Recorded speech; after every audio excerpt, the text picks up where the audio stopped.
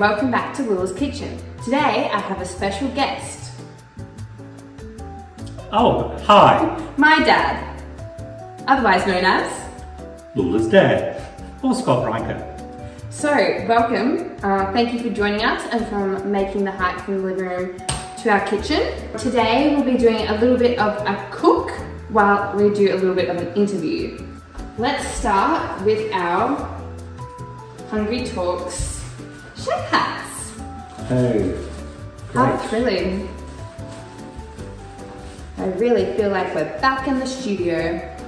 I think yours is broken because your head's a bit Small, fat. fat. you look like the guy from Ratatouille. You look like the French chef. Today we're going to be cooking a Apple crumble. first things first. Aprons to protect our clothes. Which is more your style? Uh, non-aprons. Mm, I think we'll go with this one for you. That's just great. Oh, whoops, mine's fallen off. Oh, whoops, so is mine. Now that that's done, we can get on to cooking and chatting. First step is peeling the apples. So, tell us, Scott, how did you get into the career you're in now and what is the career you're in now? Okay, well my career's got two parts. I was in corporate marketing for the first 20 odd years of my career. I was general manager of marketing at NEC uh, and then Commonwealth Bank, ANZ Bank, Medibank Private General Manager of Marketing. So most of it in finance and then in health. You know what they say about men in finance, right? That's true. I'm looking for a man in finance. Trust fund. Six Why five, blue eyes. Six three and a half, sorry. Oh. So at Commonwealth Bank, I was the fourth largest advertiser in the country.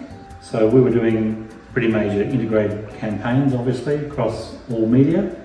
Uh, and I was in charge of uh, all marketing, marketing communications. So advertising, above, below the line, direct marketing, uh, research, statistics, the retail stores and how they were designed and where they were and layout Cool. uh, and online, which was early in those days, What year is this? uh, pre-war. He's ancient. So, uh, tell us a little bit about, like, what did you study in uni? What did you want to do? And then how did you get into that first job? So I'm old school, which means I managed to get to be working uh, in top 50 companies, head of marketing for four of them in my career, without a marketing degree. I did a It is possible. yep, And what uni did you? Melbourne Uni. Why did you? Why did you choose to go to Melbourne Uni? It was, a, it was a good university. I had the marks to do law, well, pretty much whatever I wanted to do. Um, and I decided I wanted to do psychology, but then having started, I went, no, marketing is what I want to do, but I'll just um, leverage my psych to get into marketing. So We've cut up the oats. we've hand cut up all these oats. It took us days, hours. We're back three days later. We're basically Nara Smith. Um, if you guys don't know who that is. So, Go on TikTok, search her up, Do and then search up Hungry Talks and do yourself a second favour. I think I've added a few too many oats. What do you think? no, love oats. How does it feel to have raised such a competent chef? Oh, we love Sabrina. She's done a great job.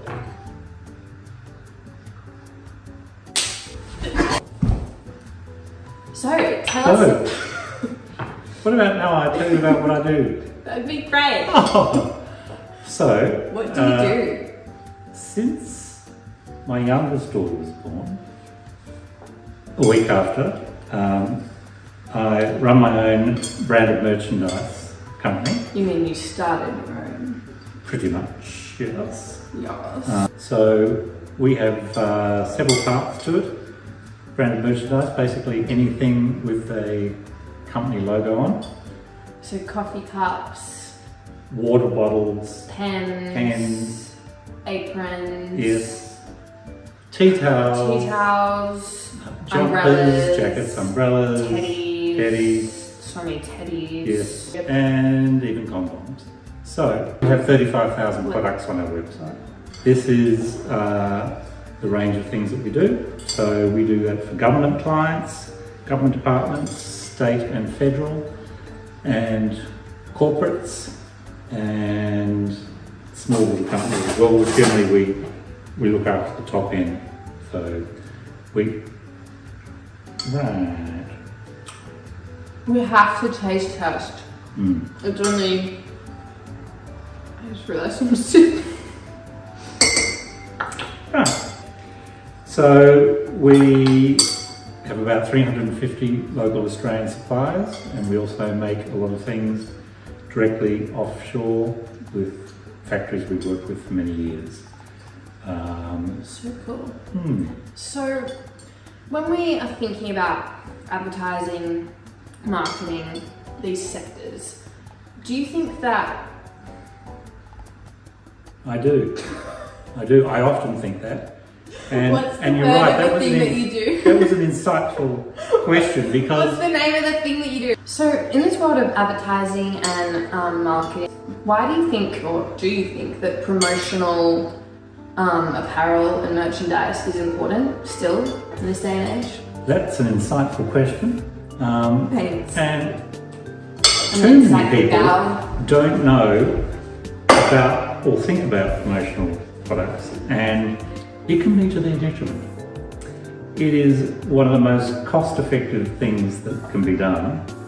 Um, 80% of people that receive promotional products are more positive about the company that gave it to them. Most keep their products for one to two years. So what I found when I was both head of marketing in corporate, but also with my clients now, that if you add branded merchandise to an integrated campaign, for the cost effectiveness of it, it'll go through the roof. You'll do so much better. So, even in this age of social media, do you think it's still important for someone to have that physical, tangible object that they can? Well, it's critical, and the difference is that these products either stay on their desk, so they're in their work environment with your brand in front of them all the time, or they're they're wearing it. Um, it's it's direct and it's personal. So again, if it's tied in with a campaign, the message is reinforced. We have a pot here of chopped up and shaved, shredded. That's right, chopped up apple No, no, no. What's the and word? cinnamon, No, no, what's and the word where you take the peel off? mm, peeled.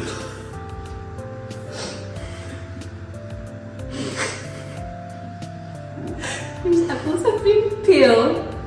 You're coming along well. a really soft complexity and deep flavour. So, what is some advice that you would have for students like me studying advertising or those interested in going into that marketing sector? Fun industry, hard industry, particularly if you're an agency. Um, and agencies have come under a lot more pressure over the last 10, 20 years, but it's a good, exciting, interesting industry. Um, in doing your work, KISS principle. Sorry, KISS principle again and again. what do you mean? KISS principle. I don't know what that is. Keep it simple, stupid. Keep it simple. Stupid. KISS. K-I-double-S. You can all bring it back because it should be brought back. Bring it back! The companies I work with were multi-billion dollars. You know, they all get terribly excited about what they think they can do from a marketing perspective. And there is, there's a lot of opportunities in marketing, but I think it gets over intellectualized, overthought, over constructed. Um, if you look at banks, most important things for a bank's profitability is home loans. And for customers, if they get a home loan, then they should have two other products that should be sold at the same time, which is credit card and a savings account. It was a home loan plus two, and that was the message we gave to our staff. simple, simple messaging. If you've got that, you've got most of their finance needs. If you do your relationship well, you should be able to talk to them about other finance needs they'll have through their I've cut myself. get a band-aid, turn it off.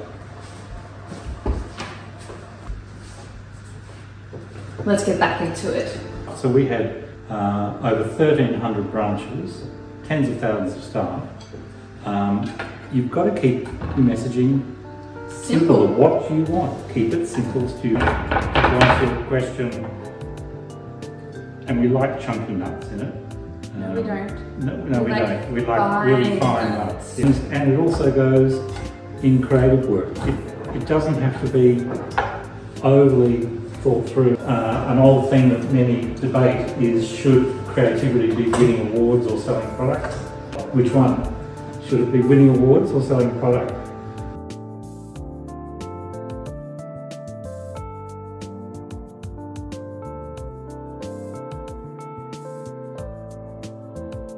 You were giving us advice. Well, the other thing that I think makes a substantial difference is an integrated campaign. The more what I found, and as we researched, was the more that we did multiple avenues of the message, the more effective it was and the more cost effective it was. When new ad is being developed, it needs to be thought about how it's going to uh, be communicated across multiple media. What would you say is your favourite source of media? Mm, Don't lie. TikToks. TikToks. So would you care to expand on maybe why? Well, I have a, a weird, um, uh, no, no, a eccentric daughter who's heavily into TikToks and has shown me. Uh, She's actually also the social media manager at Hungry Talks. and part of the reason with the TikToks is I've also got another company which is POM, Peace of Mind, period underwear. And of course, the target market for that is reasonably young. This brand we're talking about is a period underwear business that my sister and my father started. That TikTok and social media is used quite heavily for. Well, again, because of who the target market Yeah. is, and the main thing with period underwear is that we're finding the industry is, is growing at 17% a year um, because there's 13 billion pieces of period product that goes into landfill every year, and that it has up to 800 years post-life. The problem is that it's it's all non-natural. So ours is organic cotton, organic bamboo, good designs, and they just look like normal undies. So what we want to do is try and get girls younger, understanding, who are environmentally focused.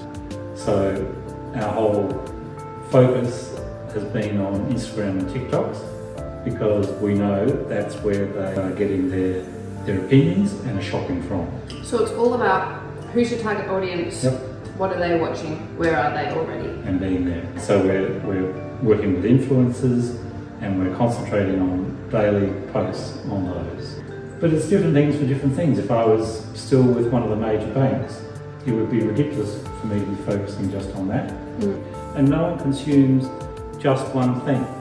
But it would be ridiculous to not consider social media and all the various avenues of it and having that as part of an integrated campaign. And I think too many big corporates and particularly um, you know, stodgies like the bank, in many ways they should stay off social media because they do it so badly. If they're going to do it, Do it right. step away and just trust. So now I'm just greasing the bottom of our baking dish that we'll be using for our crumble. Fun part, putting it all together. We pop our apples and our lovely juices in. Right. Rinse straight away, as you've always said to me. I've always said, and I'll say it again, just rinse as you go. I go Rinse sleep as you go. hearing that in my Like- mind from you. Tidy as you go. I know, I know. I don't shut up about it, like- you don't shut up I, about it. so now it's pretty simple as can be. We've got our crumble mix here. And what's in the mix? Let me tell you. So we have one third, one third, one third butter, brown sugar, normal flour, I believe. That's correct, plain flour. And And then then the hand chopped. the hand chopped walnut. I like it because it adds a little bit of a crunch. Um, we always finish each other's sentences. We always finish each other's sandwiches. Sandwiches. That's what I was That's gonna say. I was gonna say. Oh. Finish each other's. Sandwiches. That's what I was gonna say. So now it's as simple as layering it on top. Layer or layer. Layer. No, I don't know. Where I did don't that statement come from? know. Where did that say? Sara Lee. Who's Sara Lee? They used to advertise a lot. They've stopped advertising. That's why you don't know it. But Sara Lee desserts. I would know it if they advertised well. What was the other question you were asking me before during the ad break? Oh. I love ad break. Hmm. Did you know? Fun fact, and this is words of advice. If you're interested in advertising, oh, advertising, Or even advertising. you should be watching the ads around you. You know, when it comes up to an ad break, Dad always used to say, watch them, rate them, critique them. You know, there's What's so the many. key message? There's so many bad ones What's out the there. What's the message outtake? What's the brand? What's good? What's not? And why? Seventy percent of the ads are bad, but use it for inspiration of what are they doing wrong. How one thing changed could have made such, Such a difference. difference. Sometimes just branding. Or, There's too much like- on the message and they don't have enough time for the branding at the end. Mm. Or they're just too much, like a JB Hi-Fi.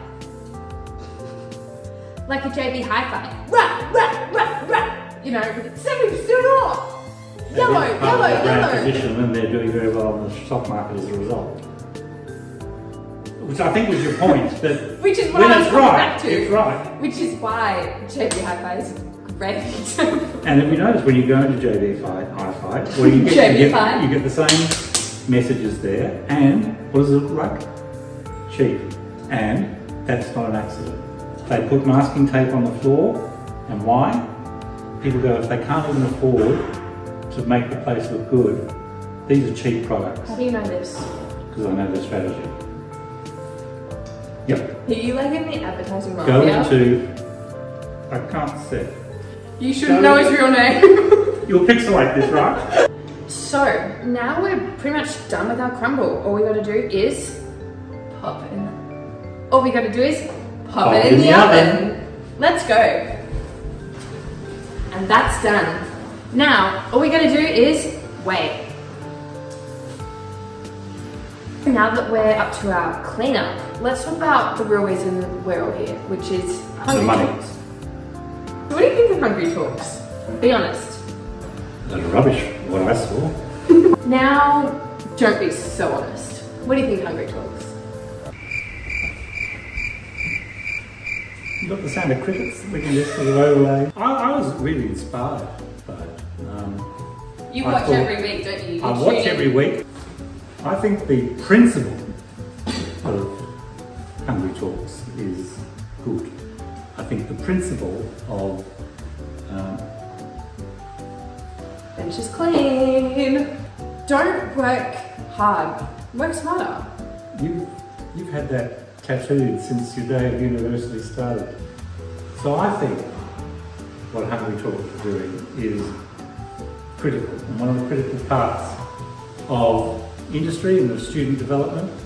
Students and industry need to be communicating more. There needs to be Earlier on. yes. Um, you can't just have theoretical learning, and this is the this is the big difference I think that RMIT has, They have a and studio, why they stand out. and we in a house where there's vacuuming. Mom, can you turn the vacuum off? too many, when I look at my own people that came in, they come in with theory, but they haven't had any of the practical experience. And that makes the biggest difference. Talk, talk, talk, ask questions, learn from those who are in it, have been in it, and that's where I think Hungry Talks can make a big difference. By talking to the industry leaders, you'll learn, you'll all learn a lot. But then they can also learn from you. Um, and if you our own situation, and particularly with POM, I've learned so much about social media marketing from you, and that's why Instagram and TikToks is such a key part of our platform and what we do.